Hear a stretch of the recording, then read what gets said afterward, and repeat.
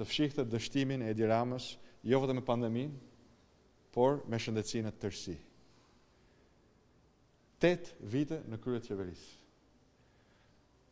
Ka patur tetë vite kohë të plotësonte premtimin e tij për shëndetësi falas.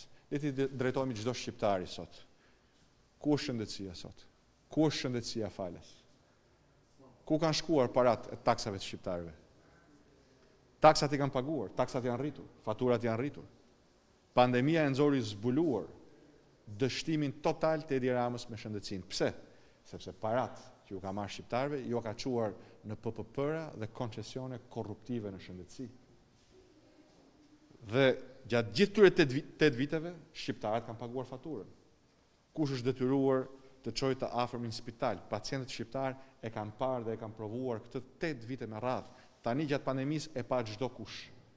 Të gjithë e panë se si Shqipëria ka sot një sistem shëndetësor në kolaps total. Me numrin më të ulët të testimeve, me numrin më të ulët të mjekëve për banorë.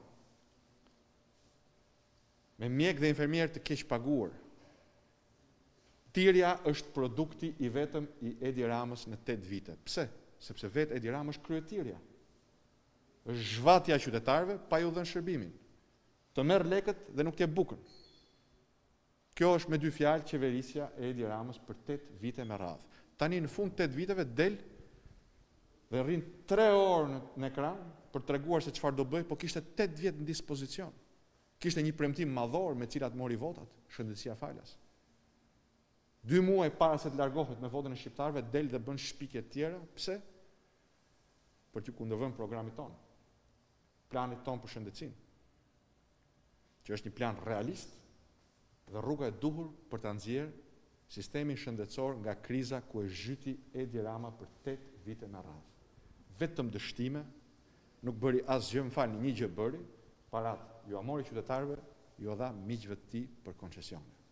Në kohën e pandemisë i la pa asnjë ndihmë ekonomike shumicën dërrmuese të shqiptarëve dhe të sipërmarrjes shqiptare, Kemi paketën më të ulët ekonomike në krahasim me çdo vend tjetër të rajonit, kemi numrin më të ulët të testimeve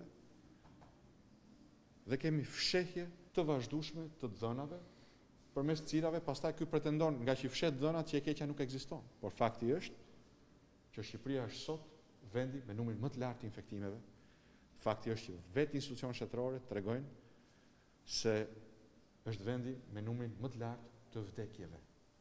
Diçka që unë e denoncova në nëntor dhe që u përpoq ta fshihte. Po këto nuk janë numra, janë nëna, janë baballarë, familjarësh që nuk janë më mes nesh për shkak të dështimeve të Edi Ramës. Prandaj nuk ia vlen të merremi shumë me atë që çdo shqiptar e kupton që pas njëzet e pesë prillit është e shkuara. E rëndësishme është çfarë do të bëjmë për të dalë nga gropa ku e ka futur edhe shëndetësinë shqiptare Edi Rama. Dhe rruga për të dalë nga kjo gropë kalon përmes propozimeve të planit tonë, që është një plan konkret. Së pari stabilizimi i situatës, rrogat për mjekët dhe infermierët, pagat për mjekët dhe infermierët në mënyrë që të ndalim largimin e tyre masiv jashtë shtetit. Shtimi i numrit të mjekëve dhe infermierëve përmes shtimit të kapaciteteve trajnuese dhe një fakulteti të ri mjekësie. Parimi që paraja të ndjekë pacientin, që do të thotë karta e pacientit, në mënyrë që pacienti të jetë në gjendje ta marrë shërbimin aty ku dëshiron, sipas çmimeve dhe listës së çmimeve që përcaktohen qartësisht në institucionet ku ofrohet shërbimi shëndetësor, që nga mjeku i familjes tek specialisti tek spitali. trajtimin e mjekëve specializantë si një pjesë shumë e rëndësishme e sistemit, për të cilët kemi propozuar tetëdhjetë për qind të pagës së mjekut, nëntëqind, afro nëntëqind e pesëdhjetë euro në muaj, për t'i mbajtur këtu. Sepse ju e dini që gjithë kohën e lirë shumica dërrmuese e mjekëve dhe infermierëve po e kalojnë duke mësuar gjermanisht apo një gjuhë tjetër dhe për t'u larguar. decentralizimin e spitaleve në mënyrë që vendimmarrja për t'i shërbyer pacientin të jetë ajo që do të vendosë sjelljen e mjekëve nëpër spitale dhe jo kontrolli politik, nepotizmi, kë njeh, kë s'njeh, që e kanë çuar sistemin spitalor në një kolaps total.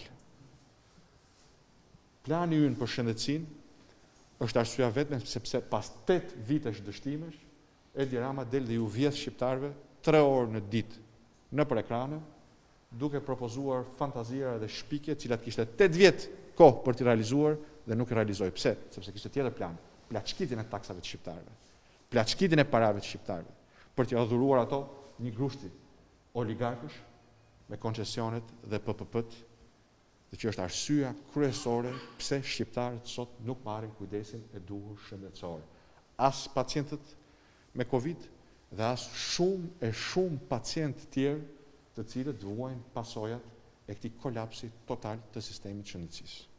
Zoti Basha, a jeni dakord ju me kryeministrin Rama kur thotë se partitë politike po bëjnë sjellje kriminale gjatë takimeve elektorale me shumë njerëz dhe njerëz që nuk mbajnë maska? Ka një njeri përgjegjës pse ka ardhur situata këtu, pasi i mbajti shqiptarët tre muaj në karantinë. Është njeriu i cili refuzoi të bënte testime. Edhe sot po të shikoni përqindja e pozitivitetit në testime është në shifra rekord për Europën. Pse?